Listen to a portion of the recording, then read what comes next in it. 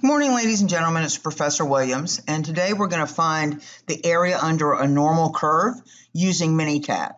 And in this particular video, we're going to solve for the probability that x is less than a given value on the curve.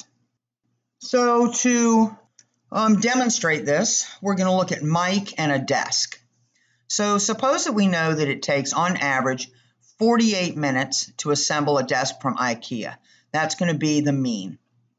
The standard deviation of the time is 12 minutes, and the times are normally distributed, meaning we can use that normal curve. What's the probability that Mike can uh, assemble this desk in less than 20 minutes? So before we go any further, this is just a reminder, or maybe it's new information. In a continuous distribution, the probability that x is exactly equal to some value is always zero. And this is because the area under a continuous distribution curve at a single point has no width. Because it has no width, the probability is zero.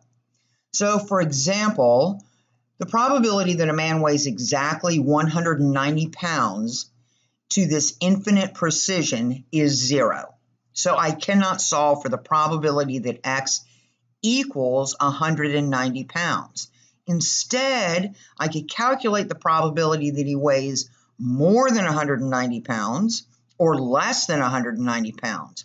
I could even construct an interval and find out what's the probability that he weighs between 180.9 and 190.1 but the probability that he weighs exactly 190 is always going to be zero. And this is very important for your understanding of how the cumulative distribution function in Minitab operates.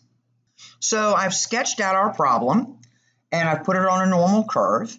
And we were told that the mean or the average time it takes to assemble these desks is 48 minutes. And we want the probability of Mike assembling this desk in less than 20 minutes. So I find 20 on the curve, and now what I know is the probability of less than 20 is going to be that small section of the tail. And what we're going to do is we're going to use Minitab and the cumulative distribution function to find the probability that x is less than or equal to 20. So given what I just talked about, what Minitab is really going to do is it's going to find the probability that x is exactly equal to 20. And from what we just learned, we know that probability is going to be zero.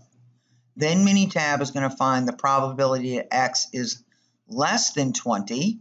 And we know that that's going to be a non-zero probability. We just don't know what it is yet.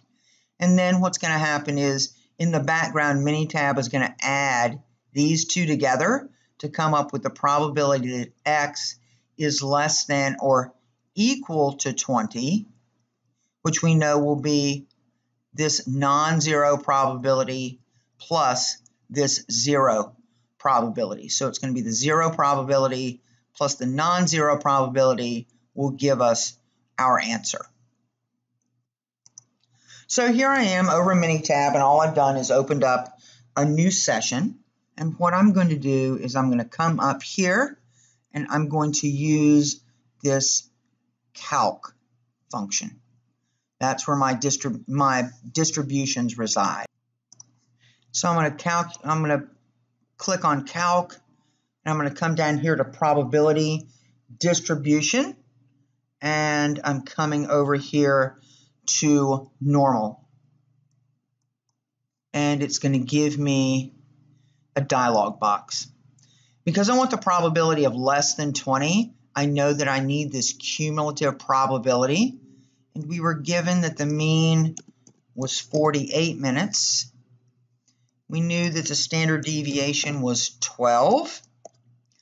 And if you recall on my curve, I wanted the prob I had located x equal to 20, and so I want the probability of less than 20. So I'm going to type in my input constant of 20, and now I'm going to say OK. And so Minitab is going to think for a minute and it's going to tell me that with the mean of 48 and a standard deviation of 12, the probability that x is less than 20 is 0.0098.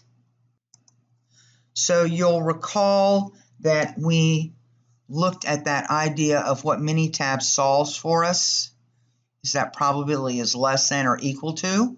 And so what it really solved was the probability that x is equal to 20 was 0.